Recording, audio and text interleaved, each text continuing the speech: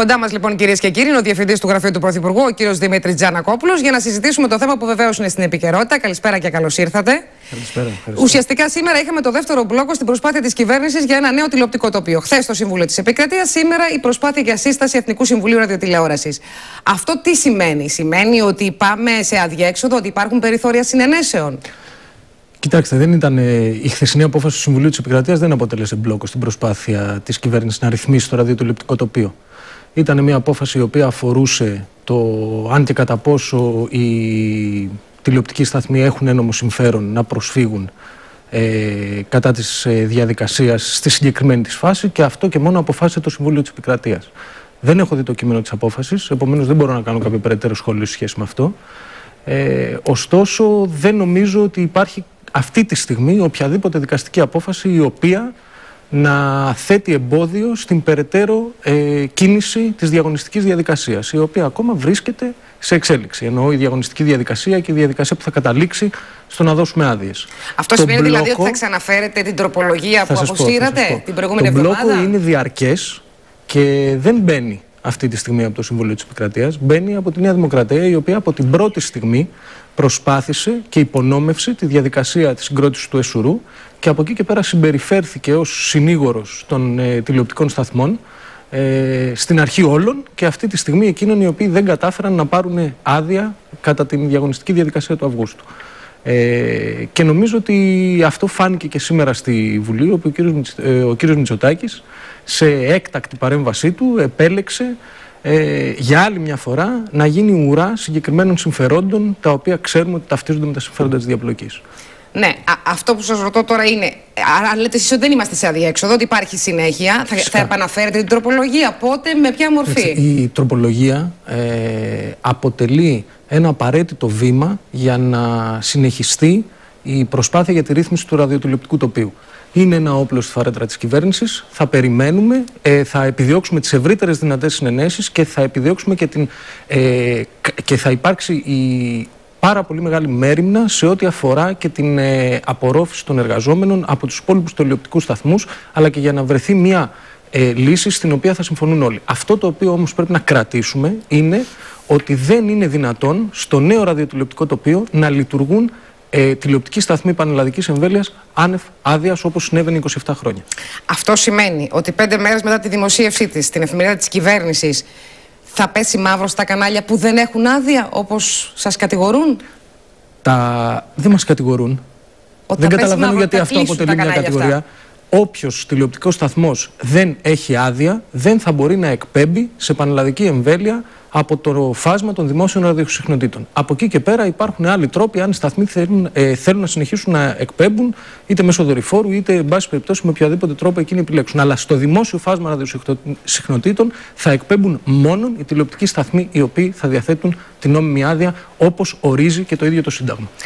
Λοιπόν, ε, μήπως θα ήταν διαφορετικά τα πράγματα επειδή είδαμε ένα κλίμα, όπως είπατε και εσείς το απόγευμα, έντονο στη Βουλή και το οποίο είναι πολύ ήμερο, εάν δεν είχατε μπει σε αυτή τη διαδικασία και είχατε αφήσει την ελεύθερη την αγορά να αποφασίσει. Κοιτάξτε, το Σύνταγμα ορίζει ότι. Το 4 σταθμοί, 14 ή 54. Θα σας πω, το, ότι το ραδιοτηλεοπτικό τοπίο, ότι οι ραδιοτηλεοπτικοί σταθμοί οφείλουν να λειτουργούν κάτω από καθεστώς νόμιμης άδειας και, αυτή, και, η, και η διαδικασία με την οποία παραχωρείται αυτή η άδεια επίσης ορίζεται από το Σύνταγμα και από τον νόμο. Και ο νόμος οφείλει να εφαρμοστεί. Δεν νομίζω ότι θα ήταν καλύτερο να συνεχίσουμε να λειτουργούμε υπό το καθεστώς που λειτουργούσε η ελληνική τηλεοπτική αγορά επί 27 χρόνια, όπου ήταν το απόλυτο καθεστώς ασυδοσίας. Σας θυμίζω ότι τρει-τέσσερι φορές έχουν προσπαθήσει προηγούμενες κυβερνήσεις να προχωρήσουν στον ε, διαγωνισμό και τρεις ή τέσσερις φορές έχουν αποτύχει. Και πρέπει να αναρωτηθούν οι Έλληνες πολίτες για ποιο λόγο έχουν αποτύχει. Διότι βρήκαν απέναντί τους πολύ συγκεκριμένα συμφέροντα με τα οποία τελικά επέλεξαν να είτε να συμμαχήσουν είτε να τα ανεχτούν. Εμείς έχουμε μια συγκεκριμένη εντολή από τον ελληνικό λαό. Και αυτή η εντολή είναι να μην ανεχτούμε αυτά τα συμφέροντα. Να μην συμμαχίσουμε μαζί τους, αλλά αντιθέτως να επιβάλλουμε μια τάξη στο ραδιοτηλεοπτικό τοπίο και αυτό σκοπεύουμε να κάνουμε. Άρα, ένα το κρατούμενο, είμαστε εν αναμονή της τροπολογίας τις επόμενες ημέρες, η οποία θα είναι θα, περίπου σας ίδια είπα ή ότι θα επιδι, επιδιωχθούν οι ευρύτερες δυνατές συνενέσεις. Σε ό,τι αφορά τη μορφή, αυτά είναι ζητήματα τα οποία θα συζητηθούν τις επόμενες μέρες, θα συζητηθούν μέσα στο επόμενο διάστημα και από εκεί και πέρα θα καταλήξουμε στο ποια θα είναι η στάση της κυβέρνησης ό,τι αφορά αυτό. Να έρθουμε τώρα τη στοχοποίηση ενός ανώτατου δικαστή, εγνωσμένου κύρους, όπως αναφέρει και η ανακοίνωση των δύο δικαστικών ενώσεων. Εσείς πώς την είδατε, και δεν μιλώ μόνο από την πτυχή, την κουτσοπολίστικη πτυχή, για την ουσία της υπόθεσης. Ναι, ναι. Κοιτάξτε, θα σας πω.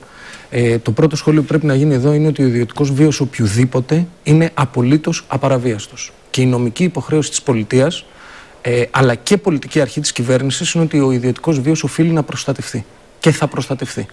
Από εκεί και πέρα, αυτό το οποίο συνέβη, είδαμε να συντελείται όλες τις προηγούμενες μέρες, ήταν το εξής. Ένα δημοσίευμα της εφημερίδας Το Βήμα την Κυριακή, το οποίο με συνωμοσιολογικό κατά τη γνώμη μου τρόπο ε, ανέδειξε στην ε, κορυφή της ημερήσιας διάταξης το συγκεκριμένο ζήτημα. Στη συνέχεια, ε, να θυμίσω ότι υπήρξε ερώτηση στο Ελληνικό Κοινοβούλιο ε, σε σχέση όχι με την προσωπική ζωή κάποιου, αλλά ε, σε σχέση με το ζήτημα που αφορά την ανάδειξη δικαστών, ε, την ανάδειξη δικαστών. Αυτό είναι ένα εξαιρετικά λεπτό ζήτημα και όταν τέθηκε και στο Ελληνικό Κοινοβούλιο δεν υπήρχε άλλη δυνατότητα από τον Υπουργό Δικαιοσύνης παρά να κάνει αυτές τις δύο πράξεις που έκανε. Και τι έκανε, το πρώτον εκκίνησε την πειθαρχική διαδικασία που αφορά μόνο το ζήτημα της ανάδειξης δικαστών και τίποτα περισσότερο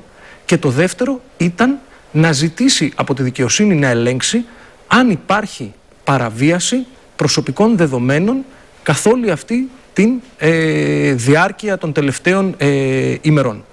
Νομίζω ότι αν δεν έκανε αυτές τις δύο κινήσεις ο Υπουργός ο Δικαιοσύνης θα είχε παραβιάσει το θεσμικό του καθήκον. Ο χρόνος, σας ξαναλέω, ότι ο χρόνος επελέγει από μια εφημερίδα η οποία κανείς δεν μπορεί να ισχυριστεί ότι έχει την οποιαδήποτε σχέση με την κυβέρνηση. Και αυτή η εφημερίδα ήταν το βήμα. Το βήμα της Κυριακής. και το όνομα βέβαια. Το η όνομα, δημοσιοποίηση του ονόματος. Η δημοσιοποίηση του ονόματος έγινε τη Δευτέρα. Ε, νομίζω ότι ο ίδιος ο βουλευτής ο οποίος ε, κατέθεσε την ερώτηση, μετά την κατάθεση της ερώτησης, το ανέφερε σε δύο μέσα ενημέρωσης και από εκεί και πέρα προφανώς τα πράγματα απέκτησαν μια δυναμική. Λοιπόν, το βάλει και αυγή βέβαια, να πούμε ότι το έβαλε και αυγή. Ναι, το καταλαβαίνω, αλλά αυτό και το οποίο, εφημερίδες. Καταλαβαίνω, αλλά αυτό το οποίο πρέπει να κρατήσουμε είναι ότι δεν πρέπει να συγχαίουμε δύο διαφορετικά ζητήματα. Το ένα είναι η προσωπική ζωή του καθενός, η οποία είναι απαραβίαστη και ιερή, και το δεύτερο είναι ένα ζήτημα το οποίο σχετίζεται με την ίδια την δομή και τις ίδιες λειτουργίες της δικαιοσύνης. Και αυτό οφείλει να ερευνηθεί. Και να κλείσουμε τη συνέντευξή μας. Αν ο νόμος κριθεί αντισυνταγματικός, τι σημαίνει αυτό για την κυβέρνηση και τι θα κάνετε; Γιατί είχαμε θέσει σήμερα και από τον κύριο Παπά και από τον κύριο Κρέτσι. Ε, λέω ότι εγώ αυτή τη στιγμή δεν ε, επιτρέπεται να κάνω κρίσεις για το τι μπορεί να αποφασίσει το Συμβούλιο της Επικρατείας, γιατί μπορεί κάποιος να πει ότι παρεμβαίνω. Αντιθέτως, δεν λέει κανείς στον κύριο Μητσοτάκη, ας πούμε, ότι παρεμβαίνει όταν οικειοποιείται σήμερα την απόφαση των δικαστών, ε, την απόφαση της ε, Ένωσης Δικαστών και Εισαγγελέων, την αναγυγνώσει και στη Βουλή και την οικειοποιείται απόλυτα, μετατρέποντάς την σε πολιτικό, σε, ναι. πολιτικό, σε, σε πολιτικό όπλο υποτίθεται υπέρ της δικής του θέσης. Ε, εμείς δεν πρόκειται να μπούμε σε αυτή τη διαδικασία. Αυτοί οι οποίοι διαρκώς παρεμβαίνουν στην δικαιοσύνη είναι η, ο κύριος Μητσοτάκης αλλά και το στελεχειακό δυναμικό της Νέας Δημοκρατίας που να θυμίσω ότι εχθές πανηγύριζαν για την απόφαση του ΣΤΕΙ η οποία ήταν μια δικονομικής φύσης απόφαση. Δηλαδή αν είναι ή δεν είναι παραδεκτή οι, αν είναι ή δεν είναι παραδεκτές οι προσφυγές που έγιναν στο Συμβούλιο της Επικρατείας και έκαναν ένα μεγάλο πανηγύρι στα μέσα κοινωνικής δικτύωσης, εμείς δεν πρόκειται να κάνουμε τέτοιες εξαλωσίνες, θα περιμένουμε με σύνεση και με ηρεμία να δούμε τι θα αποφασίσει το Συμβούλιο της Επικρατείας και από εκεί και πέρα σας λέω ότι έχουμε μία εντολή η οποία έχει δύο πτυχές. Η πρώτη είναι να βγάλουμε την κοινωνία όρθια από την κρίση και το δεύτερο πράγμα είναι να δώσουμε μια μάχη κατά της διαπλοκής και της διαφθοράς και αυτό θα συνεχίσουμε να κάνουμε. Σας ευχαριστούμε πολύ.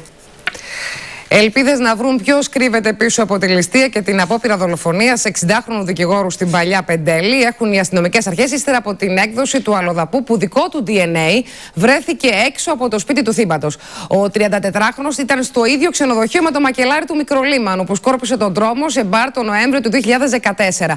Συνελήφθη από τη βουλγαρική αστυνομία και εκδόθηκε στη χώρα μας.